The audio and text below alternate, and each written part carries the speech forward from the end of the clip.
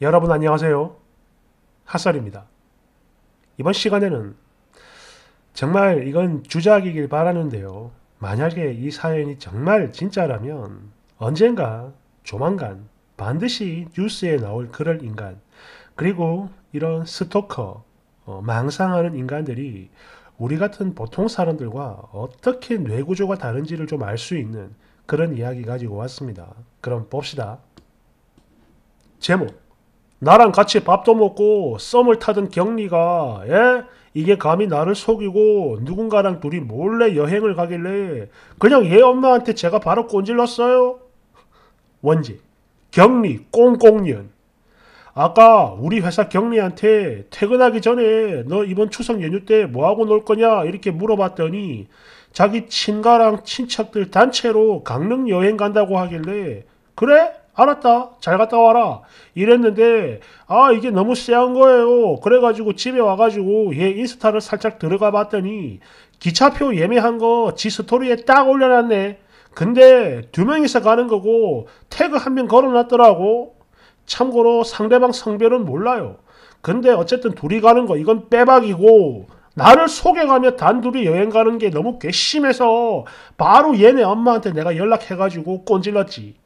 전에 몇 번 정도 일과 관련해서 얘네 엄마랑 연락을 한 적이 있거든요. 그래서 연락처를 알아요.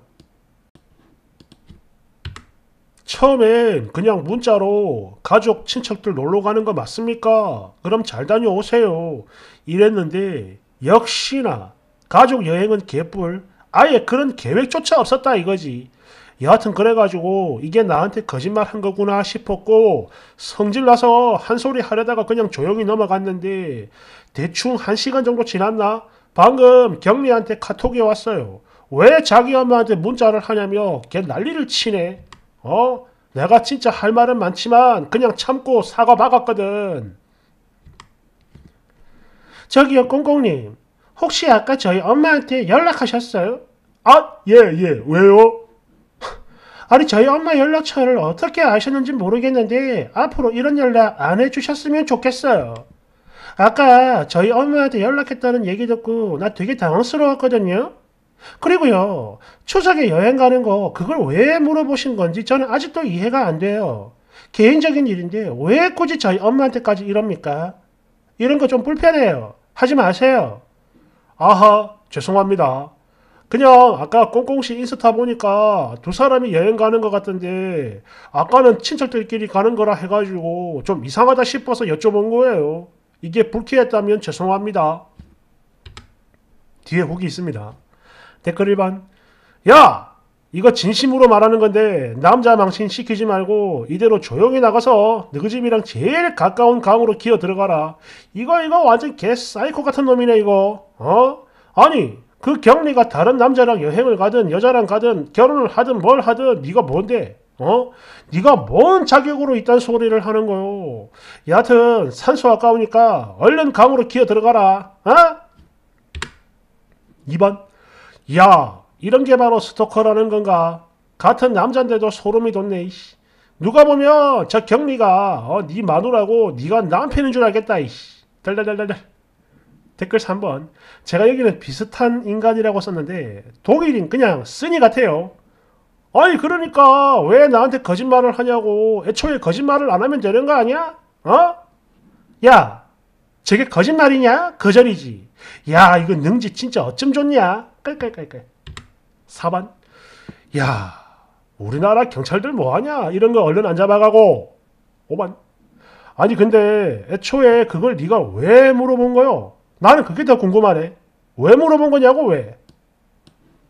대됐으니 아까 회사에서는 분명 가족 친척들 단체 가는 여행이라고 했는데 아무리 봐도 둘이 가는 여행이었다고 그래서 물어본 거지 2번 아니 그거 말고 경리한테 추석에 뭐 하는지 그걸 네가 왜 물었냐고 혹시 너 사랑하냐? 그럼 난 이미 답이 없으니까 그냥 포기해라 이 자식아 3번 아니 여자는 너한테 이런 거 사실 그대로 알려줄 이유조차 없는 관계로 생각을 하는데 넌 왜 이렇게 화가 났냐? 어? SNS 몰래 눈팅 어디 가는지 알아내는 것도 소름 돋지만 엄마한테 연락해가지고 낚시하듯 물어보는 거 이거는 야 진짜 뭐랄까 말 그대로 사이코패스급으로 미친 거 아니냐고. 뭐야 이게? 4번. 야, 지금 이거 여기저기 다 퍼지고 기사에도 나왔던데 추석 끝나고 회사에 가면 경리한테 너 맞아 죽는 거 아니냐? 그렇게 되면 진짜 웃기겠네. 깔깔깔깔깔. 될걸? 이거는 기사가 아니라 조만간 뉴스에 나올 놈입니다. 위험해요. 웃을 일이 아닙니다. 달달달달달. 5번. 딱 보니까 일반인들이랑 뇌 구조 자체가 다른 놈이네. 그러니까 이런 거는 쌍욕을 바가지로 쳐먹어도 내가 뭘 잘못했는데 내가 어? 애초에 나한테 거짓말을 한 게 잘못한 거지. 딱 이거거든. 이런 건 말로 상대해선 절대 답이 안 나와요. 그냥 어디 저 산골 병원에 가둬놨다가 약으로 보내버리는 게 최고의 어, 유일한 답이야. 미치겠다 진짜. 추가 부연 설명을 좀 해보자면 애초에 경리 엄마 연락처는 이거 경리 저게 먼저 나한테 알려준 거고 빡대가리요. 지가 나한테 줬으면서 아예 기억도 못해. 말이 돼 이게? 여하튼 그렇게 알려줘가지고 일과 관련해서 한 두어 번 정도 연락을 했던 적이 있습니다. 그러다가 오늘 퇴근하기 전에 너 추석 때 뭐 할 거냐 이렇게 물어봤는데 분명 얘가 나한테 자기 가족들 그리고 친척들이랑 다 같이 여행을 간다고 했거든. 하지만 지 인스타 스토리 이거 누가 봐도 단 둘이서 여행 가는 거고 그걸 또 마치 자랑하듯 올려놨던 거지.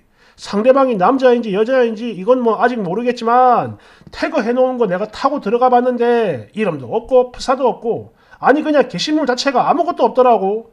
그래서 뭔가 이상하고 수상한 느낌이 들어서 얘 엄마한테 연락한 거지. 가족 여행 잘 다녀오라고 살짝 떠봤는데 아니 그게 뭔 소리예요.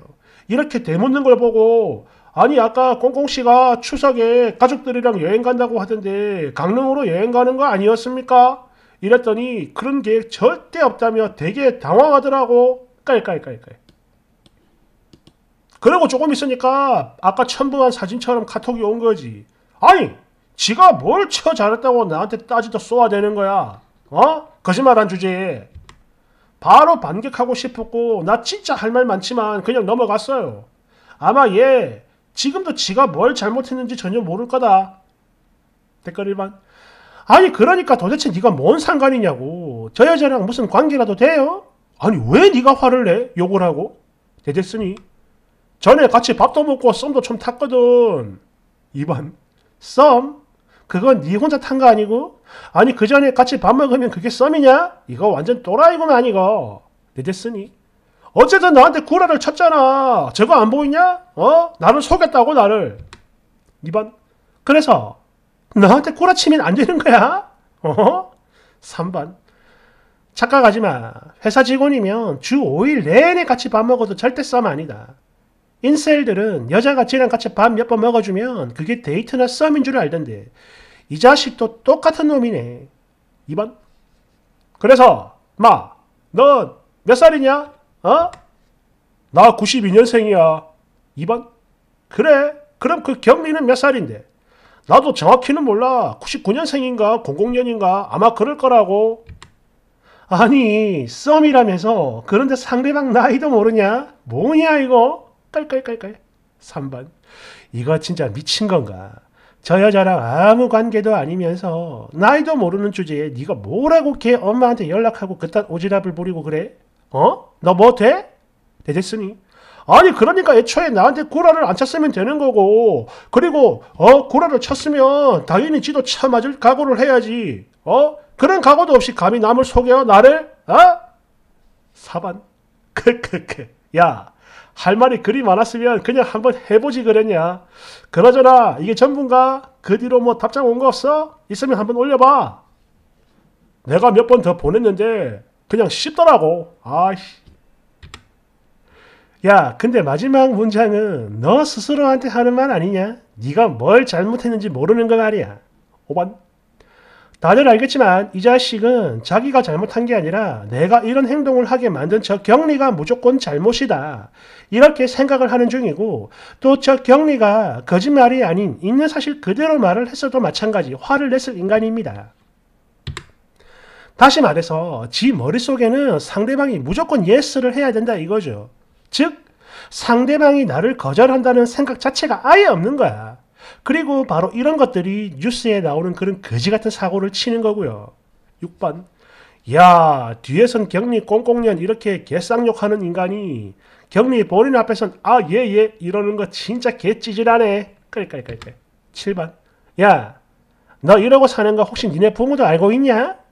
내릴까요? 보나마나 뭐 우리 왕자님 왕자님 하면서 오냐오냐 키웠겠죠. 그러니까 이런 자아비대 거지 같은 괴물이 탄생하는 거지.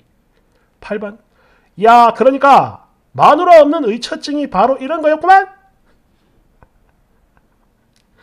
하, 진짜 이게 웃을 일이 아닙니다, 이게. 이 망상이라는 게 이게 이제 사연이 진짜라는 가정하에 망상이라고 하는 게 이래서 무서운 거거든요. 무슨 말이냐? 망상은요. 그냥 처음부터 뭔가 결론을 딱 내놓고 시작을 합니다. 이게 지금 이순이는 예를 들어서 예를 들면 그렇다는 거예요. 저 경리가 나를 좋아한다라고 못을 박아 놓은 상태입니다. 자기만 좋아하는 게 아니라 경리가 나를 좋아한다. 그런데 감히 나를 속였다. 이렇게 나가는 거예요. 이래서 무서운 겁니다. 보통 사람 이런 거 보고 어우 씨나 까였네 이래야 되는데 그게 안 되는 거야. 그런 선택지 자체가 없는 겁니다. 그러니까 왜 안 만나죠 이러면서 찔러 죽이고 하는 거야. 어. 실은 한 두어 달 전에 저희 아내한테도 이런 비슷한 게 한번 달라붙은 적이 있었거든요. 뭐 자세히 이야기는 하진 않겠습니다. 이게 이제 이 근처에 이제 자주 가는 큰 마트가 하나 있는데 거기 갔다 올 때마다 자꾸 자기를 누가 건든다는 거예요. 누가 건드냐 그랬더니 한 70 정도 되는 할아버지인데 카운터에서 계산할 때마다 계속 자기한테 사적인 좀, 좀 그런 이야기를 하더랍니다. 어? 왜 뭐, 어, 어쩌고 저쩌고 하면서, 어, 오늘은 왜 인사를 안 하냐? 왜 내 눈을 안 쳐다보냐? 막 이런 식으로. 저한테 이야기를 하길래 저는 솔직히 처음에 별거 아니라 생각했어요. 뭐 나이도 워낙 많으니까. 그냥 쌩 까라. 그런 것들은 무시를 하는 게 정답이다. 오히려 거기서 반응을 하면 더 좋아한다. 이래가지고 아내가 제가 시키는 대로 했는데 제가 피하라고 했거든요. 다른 카운터에 가서 계산을 하고 나오니까 차에 짐 싣는데 따라와가지고 왜 자기를 피하냐 이런 말을 하더랍니다. 그 얘기를 듣고 제가 아 이거는 심각하구나 해가지고 제가 갔어요. 제가 같이 가서 옆에 서 있었습니다. 그리고 그 이후로 다시는 그런 일이 생기지 않았어요. 이런 놈들 대부분이 그래요. 지보다 좀 세다 싶으면 그냥 바로 꼬리 맙니다. 자기보다 약한 것들한테는 계속 이런 식으로 내내 망상으로 괴롭히고 미친 것들이라니까 답 없어요. 예, 격리만이 어, 격리를 해야 돼요. 아무튼 참 부디 어, 이 사연이 가짜이길 바랍니다. 진심으로 음, 감사합니다.